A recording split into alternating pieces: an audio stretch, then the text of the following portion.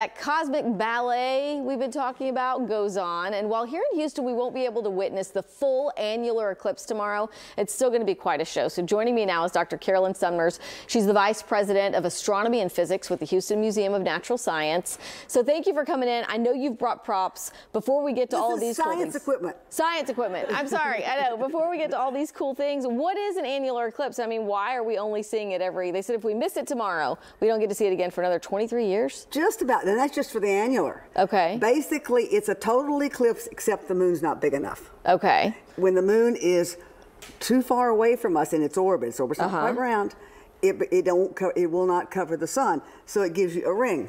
The Johnny Cash Ring of Fire. Yes. Okay. so that is very cool. Yeah. And but it's different. You but you have to keep your glasses on. Why? It can damage your eyes. Yeah, looking directly you know, normally you walk outside. Hey, I look at the sun all the time. No, yeah. you really don't. You don't stare at it. Uh huh. But here you are. You walk outside. I want to see the moon, and you stare at the sun, and that one little part of the sunlight that's still there is really burning a hole in your retina. Oh wow. Because you're staring at it. It's not moving across your retina. You're uh -huh. staring at it. So it's important to have you know other ways like a cereal box a solar viewer. You punch holes here, put a piece uh -huh. of paper down there, and you look inside there, and you'll have like little dots that say right. you want them to say. I remember making these in school. Yeah, we're going to um, make them there, or you can have the tube version. Okay. Which is so all different ways that you can do it at the Museum of Natural Science. A colander, like what are we doing with this? Look at the holes. Okay, every even single, that will protect your every, eyes. No, no, no, this is different. Every single hole is going to make an eclipse on the ground.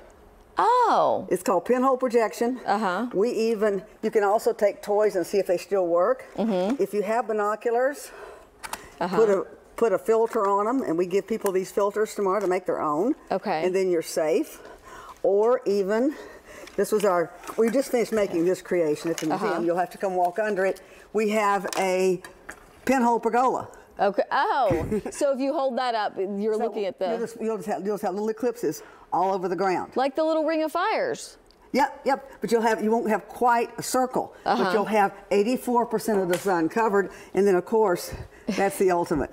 to so see it through if there. you get the right hat, uh -huh. it will actually put pinholes all over your face. Oh, very Little cool. eclipses everywhere. So I love this because these are all things, and Caroline Brown also showed us, Haley showed us where you can get glasses to make sure that they're, you know, will protect your yeah, eyes. Yeah, and we have them at the museum. Where they can buy them in the gift shop. And we're going to give away cards. Go tomorrow and do these activities as part of, like making sundials, you said, as yeah. part of the whole solar And we're going to make little jewelry that will change color in the sunlight. We're, we're planning on having a lot, and we're cooking. Oh. What do you mean by that? Cooking with sunlight. We'll see if it cooks. That doesn't cook. It may not cook as well during an annular eclipse. Right. What are you making? Sunlight. Like eggs, cookies on the no, sidewalk? we're making pot stickers, uh-huh. uh, brownies, and nachos. So a lot of fun. What time? I mean, we know that the best time, Caroline has said, the peak time is 11:58.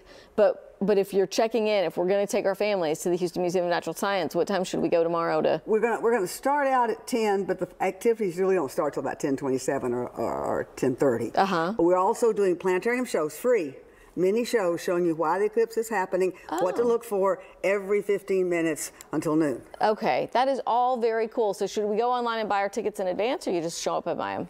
If there's no tickets, we're, we're, in the front yard. All of that is free. oh my gosh, I left yes. out the most important part. So it's free at the Museum of Natural Science right. tomorrow. Go out, enjoy it. You can make these little things. I just talked to our web department. They're putting Caroline's uh, demonstration on how to make it out of a shoebox online, but you could find those. This is a little better because it's longer. Okay. And you're more likely to have a ton of these at your house. i I've got a ton of those empty cereal yeah. boxes, all the sugary ones. Yes. All right, thank you so much, Dr. Carolyn Thank Sumners. Thanks for coming in, and we hope that you get a chance to see that eclipse tomorrow safely. Haley.